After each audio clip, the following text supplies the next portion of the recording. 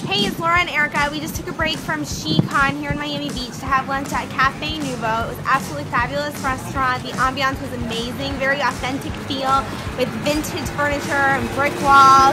Really awesome experience and great food. Yes, food was fabulous. We tried some mojitos, which Yelp uh, had a special deal on buy one get one mojito free. They had uh, real sugar cane in there. They were sweet and delicious.